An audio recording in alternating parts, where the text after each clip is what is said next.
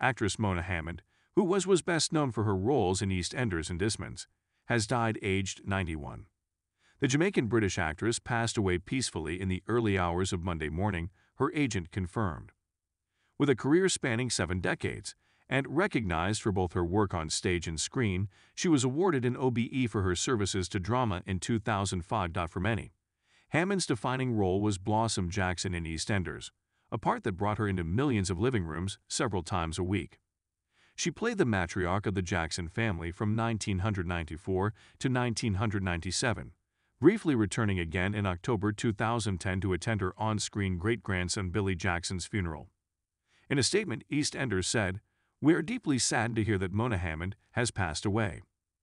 Mona created a no-nonsense grandmother in Blossom Jackson, who was adored by the audience and everyone who worked with her.